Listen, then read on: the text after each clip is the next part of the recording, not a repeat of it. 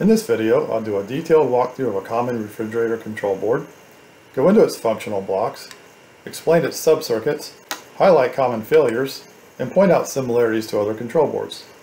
While some of the topics discussed here may or may not be familiar to you, my goal, regardless of your experience, is for you to know significantly more about control boards at the end of this video.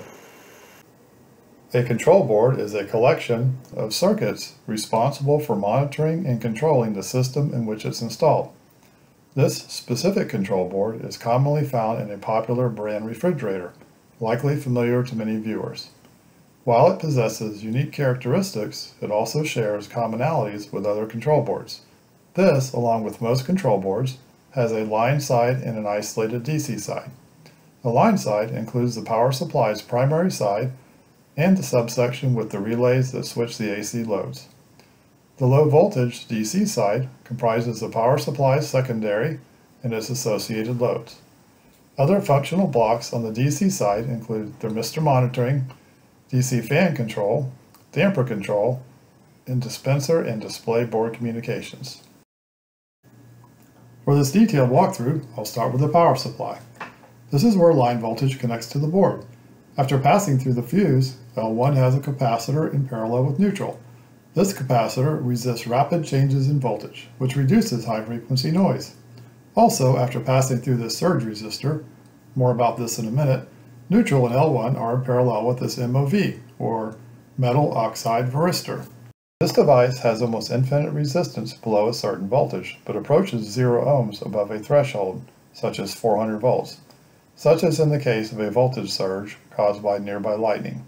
Consequently, high current flows through the MOV, taking out the fuse. Next is the EMI filter, which includes a common mode choke and additional capacitors. The common mode choke functions as a specialized dual inductor that resists high-frequency current spikes originating from the power supply and are present on both lines. Its purpose is to prevent such noise, which occurs on both lines, from entering the house supply. Simultaneously, it allows the low-frequency cycling current of the 60 Hz sine wave to pass through without hindrance, because the normal current that flows in a circle is largely ignored by the behavior of this special type of inductor. Next, the line voltage AC is rectified by a bridge rectifier composed of four diodes. This transforms the AC waveform into a full wave rectified waveform, as shown here.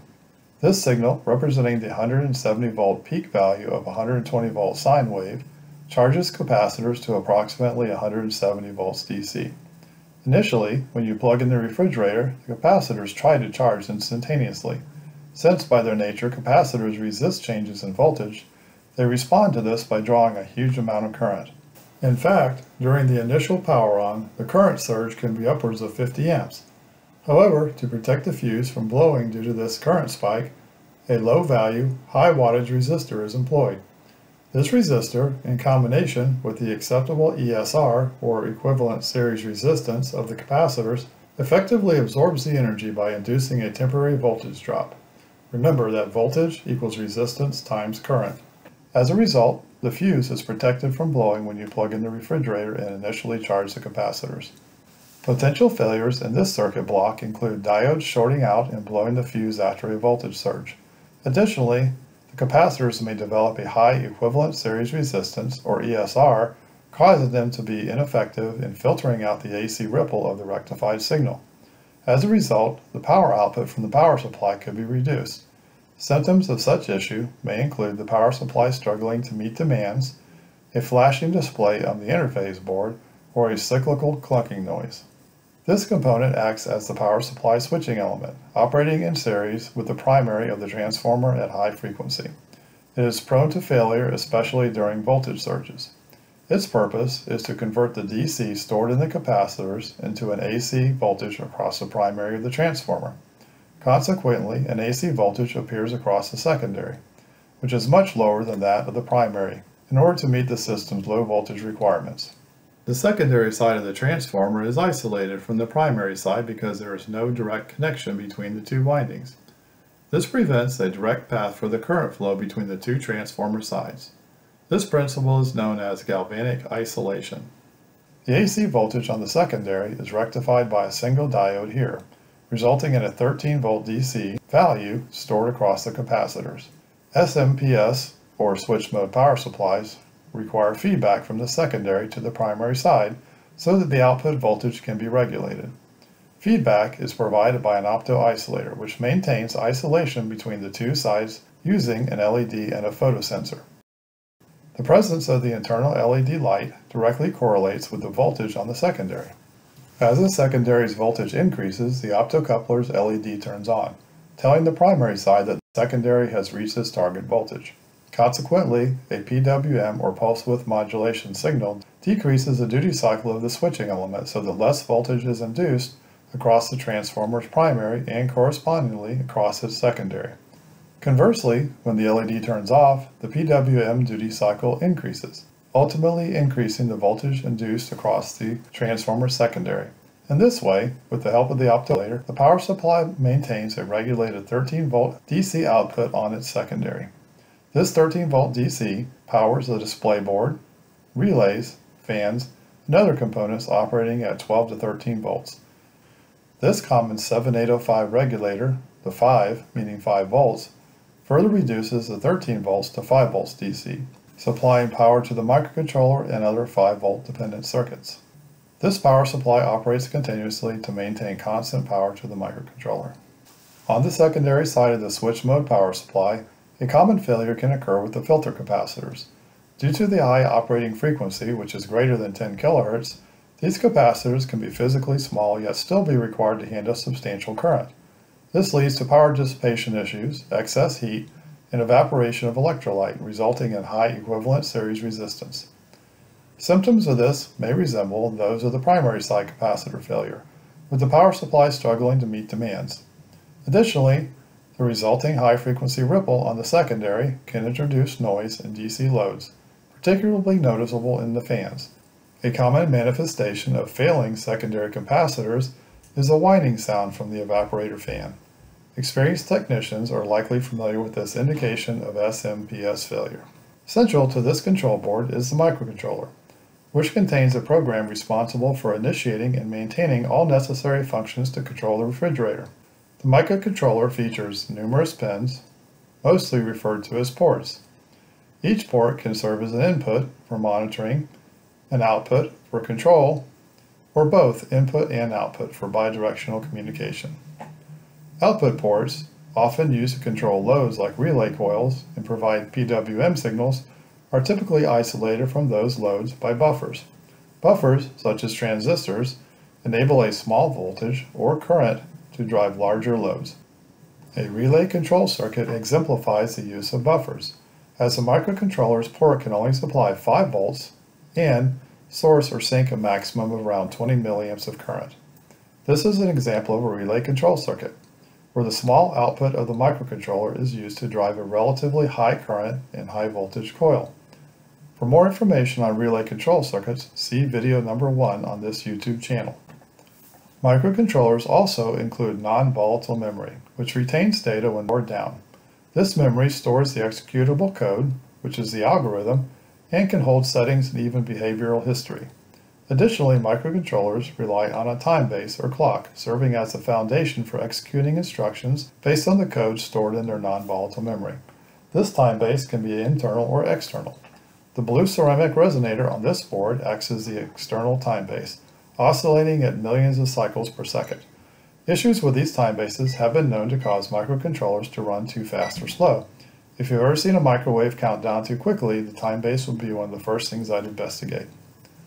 Most microcontrollers are powered by either 3.3 or 5 volts DC, with this particular one operating at 5 volts.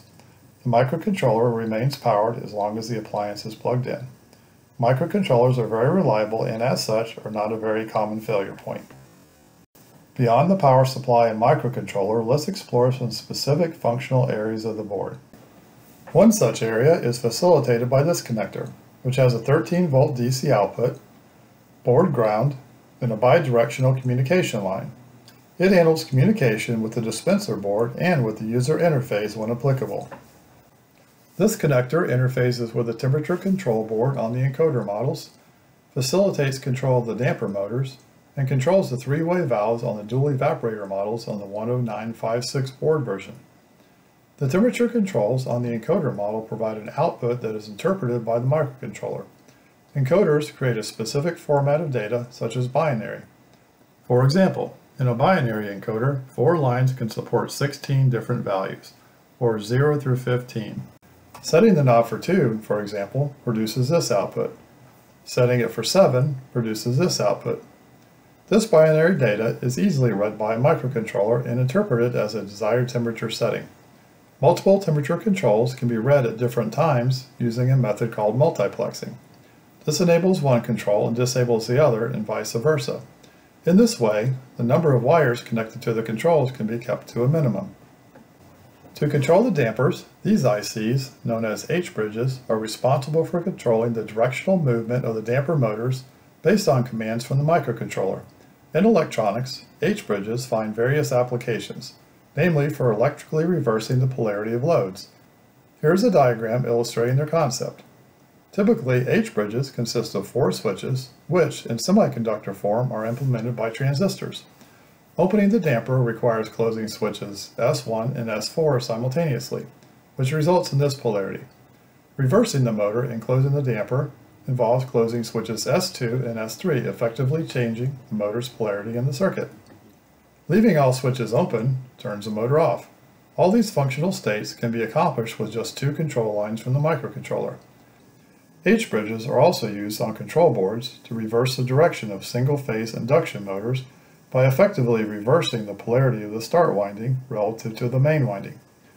This can easily be implemented by using two SPDT or single-pole double-throw relays as shown here. Once the motor starts, the main winding sustains the initiated directional rotation. On this board, the H-bridge ICs additionally serve as buffers between the higher voltage damper motors and the low voltage microcontroller ports. As mentioned before, the use of buffers is common when a microcontroller is involved. This connector serves as the input for the various thermistors. A 5 volt DC common line connects to all thermistors, while each of the thermistor's other sides connect to pins 1 through 4. The output of each thermistor connects to the microcontroller through a resistor network like this that forms a voltage divider. The port is connected to this point. As the thermistor warms up, its NTC, or negative temperature coefficient, causes its resistance to reduce in value. This causes the voltage here to increase. Conversely, as it cools down, the voltage decreases. This output voltage is fed into an analog to digital, or A to D, converter which converts the value into a binary representation that the microcontroller can understand. It is then compared to a lookup table stored in the microcontroller's memory. This allows the microcontroller to determine the temperature of each thermistor and take appropriate action based on that information. This connector is designed for interfacing with pulse width modulated DC fans. It supports multiple fans, including evaporator, condenser, fresh food, and custom cooled DC fans, depending on the model. The connector provides a 12 to 13 volt DC output to power the fans, a common board ground, and four PWM outputs. The duty cycle of each PWM signal, controlled by the microcontroller, determines the speed of the corresponding fan.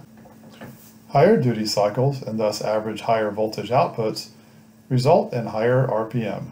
These PWM signals from the microcontroller's ports are only 5 volts with low current capability. As such, they are buffered by these transistors, which increase the current output and allow for 12 volt operation for the fans. In the case of the evaporator and condenser fans, power resistors are placed in series with the PWM signals. The presence of stressed or overheated power resistors often indicates failing fan motors. Additionally, the evaporator fan features a feedback line that allows the microcontroller to interpret the RPM and fine-tune its speed control for more precise air circulation. This section represents the aforementioned AC side of the board, responsible for housing the power supply's primary side and powering all AC loads. The loads are controlled by relays, each featuring a 12 volt coil. The coil is activated by a buffer IC, which incorporates transistors. This buffer IC enables the microcontroller's ports, capable of only supplying 5 volts maximum at a current of around 20 milliamps, to be able to switch the 12 volt DC relay that requires currents in excess of 75 milliamps. Relays also provide isolation between the DC and AC sides of the board through the air gap between the coil and the relay contacts. This relay switches a single-phase compressor on and off. This is your defrost relay. Additionally, these relays are responsible for switching the AC solenoids for dispensing and cubed ice, as well as controlling the auger motor. In this board section, common failures are often linked to the relays. The contacts tend to wear out over time and develop higher resistance. The current passing through these contacts causes heat dissipation at the contact point. This heat can then affect the board's associated solder connections, putting them under stress and eventually leading to connection failure. Symptoms of such failures may include a compressor that fails to start or a defrost system malfunction. While that covers the details of the board, it is important to note that in this model, the DC, or low voltage ground, is not connected to the chassis or earth ground. So when troubleshooting or measuring voltages on the low voltage side, you would use board ground rather than chassis ground. Not all boards are floating like this. Some power supply grounds are bonded to the chassis. However, in these cases, any current flowing out of the DC supply will only flow through the chassis in an attempt to return to its source, which is the low voltage power supply. Also note that when measuring voltages on the primary side of the power supply, you will reference neutral, until the voltage is rectified, that is. Once rectified, a virtual ground is created by the bridge rectifier.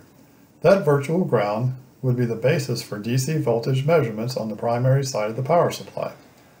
Note that you will never want to use the low Z mode of a voltmeter when measuring voltages in this section of the power supply primary, because the delicate balance of the SMP-S power supply's operation can be severely impacted by the relatively low impedance of the meter. While this board features a switch mode power supply SMP-S, many boards employ a simpler linear power supply that still provides isolation between the primary and low voltage secondary sides. Linear supplies are less complex, that is they need no feedback, have less components, and run at a much lower frequency, but they are less efficient. For a detailed explanation of different control board power supply types, please refer to video number 8, Control Board Power Supplies. That's it for this video. I hope you found it interesting and informative. If so, please give it a thumbs up and subscribe to this channel.